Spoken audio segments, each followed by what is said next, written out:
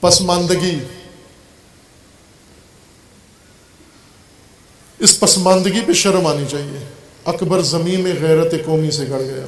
پسماندہ قوم کا ہر فرد، یہ حیا اگر اس میں پیدا ہو، اس صدی میں، اکیسویں صدی میں، جہاں پر محروم ترین قومیں ترقی کر کے کہاں پہنچ گئی ہیں اور ہم ابتدائی ضروریات سے بھی محروم ہیں۔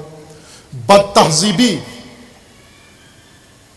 ہے کوئی آج جو اپنے ان جوانوں کی حالت دیکھ کر غیرت قومی سے زمین میں گڑ جائے؟ کسی کو افسوس ہوتا ہے؟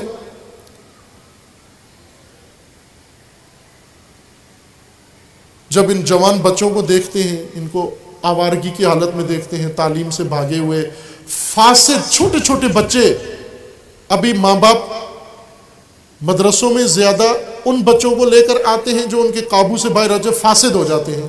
پہلے نالائق نااہل لاتے تھے، ابھی فاسد بچے زیادہ لاتے ہیں کہ ان کو آپ سنبھالیں۔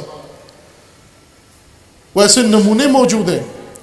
چھوٹی سی عمر ہے بچے کی، پانچ چھ سال کا بچہ ہے، اس نے ہر نشہ کیا ہے۔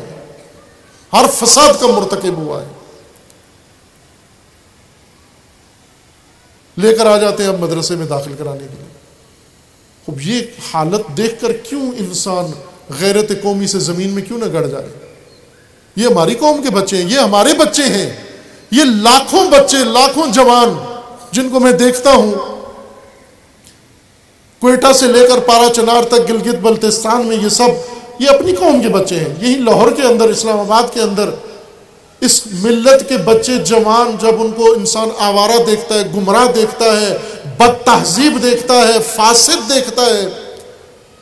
حیا آ جاتی ہے، شرم آ جاتی ہے انسان کیوں؟ ہم بھی موجود ہوں اور ہمارے بچے اس طرح سے آوارگی کا شکار ہوں، ضائع ہو رہے ہیں تاغوتیت۔ ہے کوئی تاغوتیت کے سائے سے غیرت قومی میں گڑ کے مر جائے؟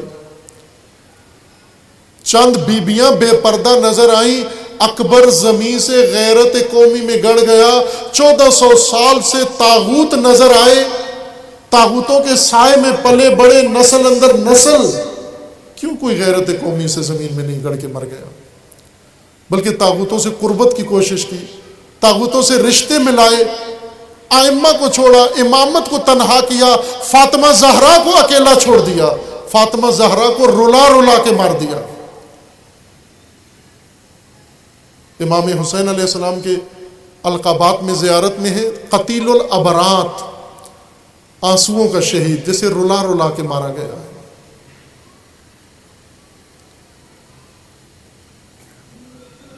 امام پنجم فرماتے ہیں، جب عید کا دن آتا ہے، ہمارا زخم تازہ ہو جاتا ہے، ہمارا غم تازہ ہو جاتا ہے۔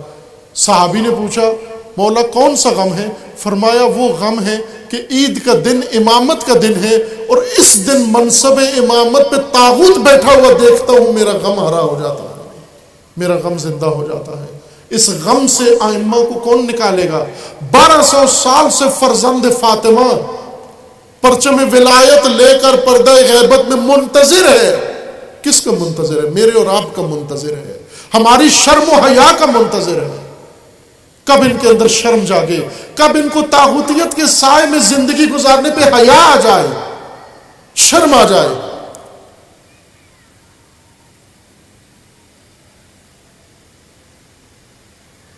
ہے کسی کے اندر یہ غیرت؟ کتنی تسلی سے سوتے ہیں رات کو کتنے آرام و چین سے ہم چلے جاتے ہیں، گھروں کے اندر اپنی زندگی گزار رہے ہیں۔ صرف محرم اور نامحرم کے درمیان اگر حیا قائم بھی کر لیا باقی قومی میدان میں قائم نہ کیا، تو بے حیاؤں میں ہے حیا خدا اٹھاتا ہے، پھر ملتیں تباہ ہو جاتی ہیں۔ اسی شرم کی ضرورت ہے، اقدار فاطمیہ کی ضرورت ہے۔ اقدار فاطمیہ میں سب سے سر فہرست حیا فاطمی، شرم فاطمی۔ ہر مرد کے اندر پیدا ہو، پاکستان کے ہر عالم دین کے اندر حیا پیدا ہو، شرم فاطمی پیدا ہو۔ جب اس کے اندر حیا فاطمی پیدا ہوگا، تو وہ بی بی جو مخالفین کی بھری محفل میں جا کر حق بیان کر سکتی ہے، تو یہ عالم اپنی قوم کے درمیان ممبر پہ حق کیوں نہیں بیان کر سکتا؟ شرم کی کمی ہے۔ یہ اپنی قوم میں، اپنی قوم کو حق نہیں بیان کر سکتا۔ بی بی مخالفین کے سامنے حق بیان کر رہی ہیں اور تنہا کوئی لشکر بھی ساتھ نہیں ہے۔ ایک کنیز ہے اپنی۔ اس کو لے کر گئی مسجد میں جا کر خطبہ دے کر، حق بیان کر کے آ گئی یہ حیا ہے قوموں کا سرمایہ، اور یہ خزانہ ہے کوثر۔ یہ فاطمہ زہرا بتاتی ہیں۔ اس لیے میں عرض کر رہا ہوں کہ فاطمہ زہرا کا اسوا ہوتے ہوئے ذلت کسی قوم کی یہ جچتی نہیں ہے، محرومیت جچتی نہیں ہے، تماشائی پنا جچتا نہیں ہے۔ ایک قوم جس کے پاس کچھ بھی نہ ہو، کیا چیزیں آپ کے پاس اترانے کے لیے؟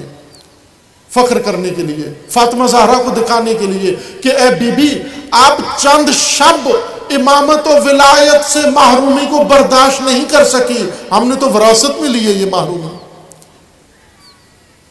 لیکن بی بی کے لیے روتے ہیں ہم۔ چونکہ روتے ہیں زہرا کے لیے، بس اس لیے ہم بڑی عالی قوم ہیں۔